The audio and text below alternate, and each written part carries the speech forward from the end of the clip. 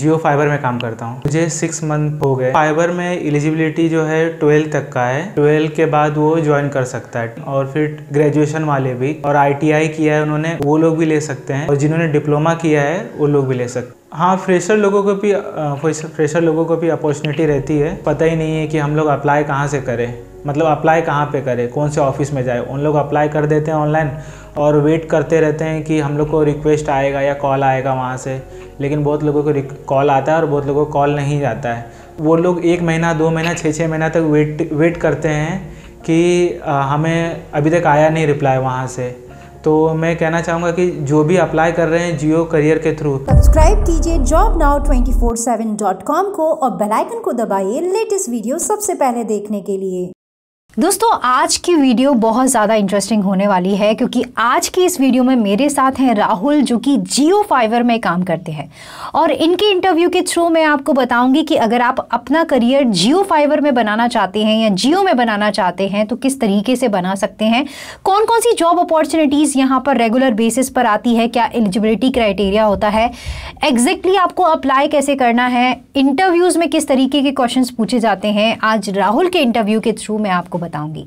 लेकिन दोस्तों video start करने से पहले आपसे कहना चाहूँगी अगर आपने अभी तक चैनल को सब्सक्राइब नहीं किया है तो जल्दी से कर लीजिए एंड बेल आइकन को भी दबा दीजिए। सो फ्रेंड्स स्टार्ट करते हैं आज की वीडियो हेलो राहुल कैसे हो आप?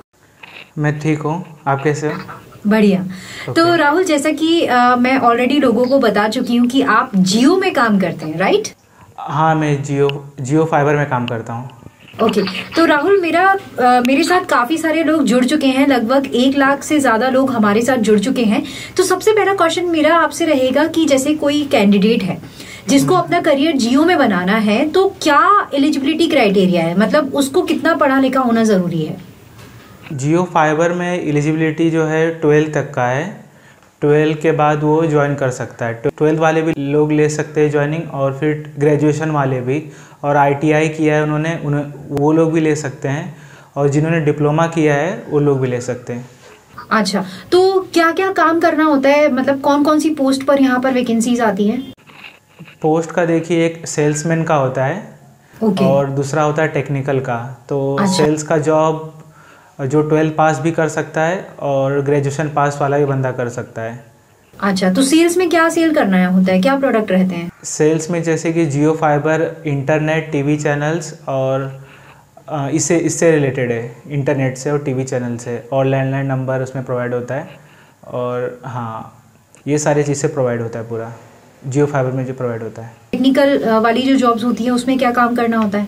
जिसने आईटीआई करके रखा है ना ट्वेल्थ के बाद, या जो जिसको बेसिक नॉलेज है इलेक्ट्रॉनिक का तो जैसे कि सेल्समैन बुक बुकिंग का काम करते हैं।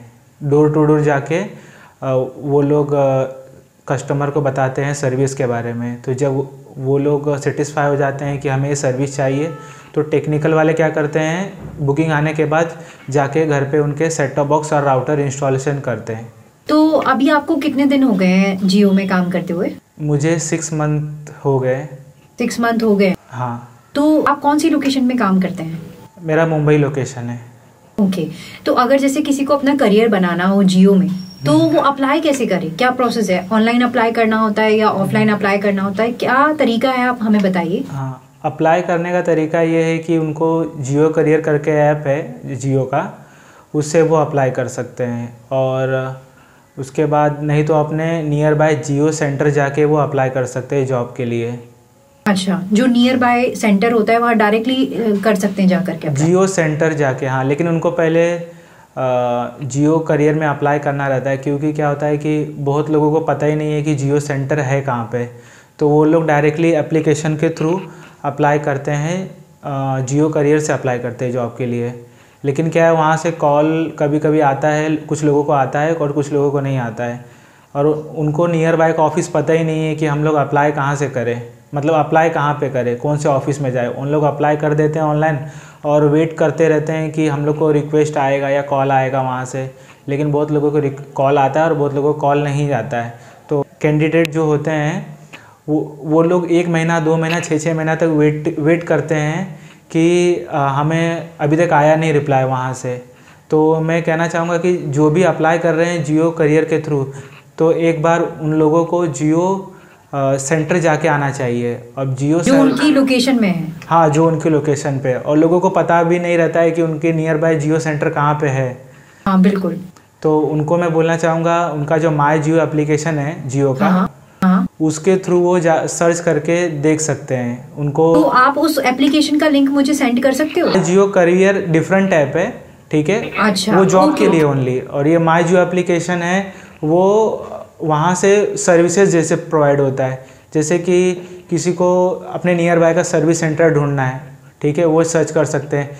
अपने और जो हमने रिचार्ज करते हैं ना तो हमारा डेटा कितना अवेलेबल है रिचार्ज कौन सा चल रहा है वो सारा इन्फॉर्मेशन माई जियो में शो होता है।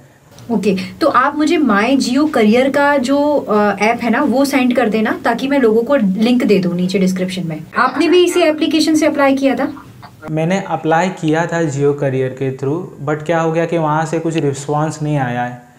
तो मैंने अपना एप्लीकेशन है अपना जॉब एप्लीकेशन वहाँ से मैंने अप्लाई किया करके रखा था एक बार। बहुत लोगों को कॉल आता है और बहुत लोगों को कॉल नहीं आता है।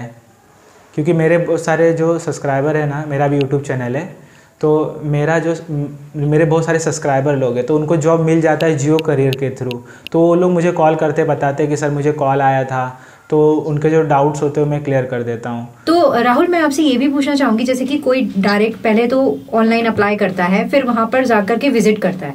तो इंटरव्यूज़ में किस तरीके का इंटरव्यू होता है? क्या क्या राउंड होते हैं इंटरव्यू में? कितने इंटरव्यूज़ देने पड़ते हैं? इंटरव्यू में मेनली क्या होता है कि एक एच इंटरव्यू लेते हाँ, हाँ। हैं। उसके बाद जो हमारे जो जियो फाइबर के जो सर होते हैं जो हैंडल करते हैं लोगों को वो एक बार इंटरव्यू लेते हैं। मतलब दो राउंड ही होता है। दो राउंड होते हैं। दो ही राउंड होता अच्छा तो आप बेसिकली टेक्निकल लाइन में राइट ना? नहीं नहीं मैं सेल्स में सेल्स लाइन सेल्स लाइन में हो। तो हाँ। क्या क्वेश्चन पूछे गए थे आपसे इंटरव्यू में? कुछ शेयर करना चाहेंगे? हाँ मुझे क्वेश्चन पूछा था कि मतलब कि मैंने पहले कभी जॉब किया है या नहीं किया है? जॉब मैंने किया है तो सेल्स लाइन में किया है या नहीं किया है? क्योंकि जो लोग सेल्स लाइन में नहीं होते हैं तो थोड़ा डिफ़िकल्ट होता है उनको ज्वाइन करना। क्योंकि जो सेल्स लाइन में है ऑलरेडी तो वो जल्दी से वो लोग ज्वाइनिंग दे देते हैं। बिल्कुल। हाँ। और उसके बाद एजुकेशन हमारा रहता है ट्वेल्थ तक का। तो ट्वेल्थ तक पास है तो उसको मिल जाता है जॉब बट उसको प्रीवियस एक्सपीरियंस होना चाहिए थोड़ा बहुत सेल्स अच्छा प्रीवियस एक्सपीरियंस थोड़ा बहुत होना चाहिए सेल्स का हाँ। कोई फ्रेशर हो तो उसके लिए जॉब अपॉर्चुनिटी रहती है?